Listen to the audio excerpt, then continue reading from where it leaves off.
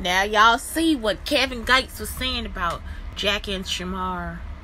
How they'll hold somebody back.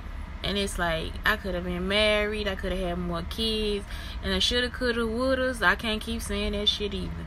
So it's like this is where I'm at, and that's where I gotta jump off from. So it's just like, man, that's sad. It's so sad. They were talking about how Jack will try to play like he crazy. Ain't nothing wrong with neither one of them. Cause Jack don't know how to play crazy. He don't know how to have sex. The man don't know how to do nothing. It's like you keep playing like you know how and you don't. You see what I'm saying? Like that's why when I saw the movie, I was like, oh, that's his song, that's his dances and all that different stuff. It's time. The time is up. Like I'm serious. If y'all out here still trying to figure out what I'm doing and what I'm saying and all that different shit, or sending somebody to talk to me, that was not the name of the game. It was not. I haven't done anything to you.